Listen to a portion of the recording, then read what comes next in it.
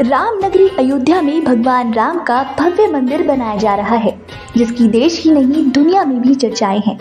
वहीं जिस तरीके से मंदिर को बनाया जा रहा है, वो वाकई काबिल तारीफ़ है। हम आपको मंदिर की 20 विशेषताएँ बता देते हैं, जो श्री राम जन्मभूमि तीर्थ क्षेत्र ट्रस्ट ने एक्स पर साझा की है।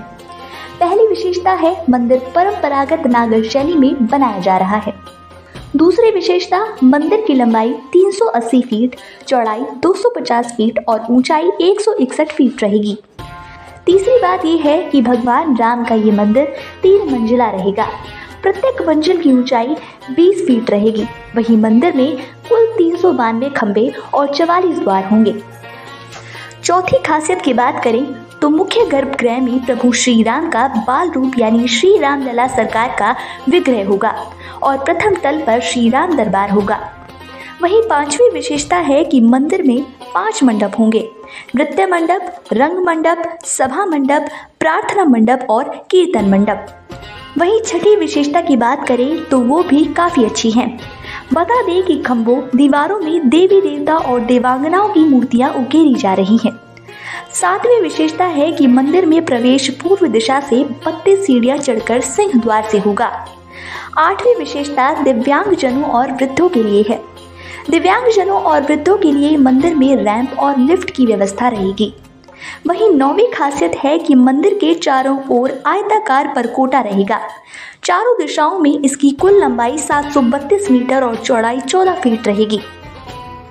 दसवीं खासियत भी आपको बता दें कि परकोटा के चारों कोनों पर सूर्य देव माँ भगवती, गणपति और भगवान शिव को समर्पित चार मंदिरों का निर्माण होगा।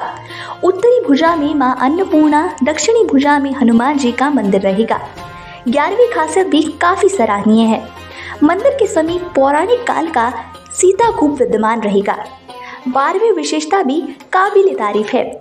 मंदिर परिसर में प्रस्तावित अन्य मंदिर, महर्षि वाल्मीकि, महर्षि वशिष्ठ, महर्षि विश्वामित्र, महर्षि अगस्त्य, निषाद राज, माता शबरी और ऋषि पत्नी देवी अहिल्या को समर्पित होंगे। मंदिर की तेरहवीं विशेषता है कि दक्षिण पश्चिमी भाग में नवरत्न कुबेर टीला पर भगवान शिव के प्राचीन मंदिर का जीर्णोद्वार किया गया है और वहीं जटायु प्रतिमा की स्थापना की गई है। चौदहवीं विशेषता है कि मंदिर में लोहे का प्रयोग नहीं हो रहा। धरती के ऊपर बिल्कुल भी कंक्रीट नहीं है।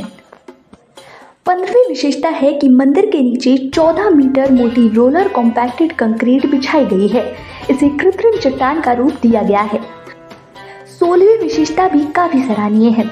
दरअसल मंदिर को धरती की नमी से बचाने के लिए 21 फीट ऊँची प्लिंथ ग्रेनाइट से बनाई गई है। सत्रहवीं खासियत है कि मंदिर परिसर में स्वतंत्र रूप से sewer treatment plant water treatment plant अग्निशमन के लिए जल व्यवस्था तथा स्वतंत्र पावर स्टेशन का निर्माण किया गया है, ताकि बाहरी संसाधनों पर न्यूनतम निर्भरता रहे। अठारहवीं विशेषता है कि पच्चीस हज़ार क्षमता वाले एक दर्शनार्थी सुविधा केंद्र का निर्माण किया जा रहा है, जहाँ दर्शनार्थियों का सामान रखने के लिए लॉकर और चिकित्सा की सुविधा रहेगी। उन्नीसवीं विशेषता है कि मंदिर परिसर में स्नानागार, शौचालय, वॉश बेसिन, ओपन टैप्स आदि की सुविधा भी रहेगी।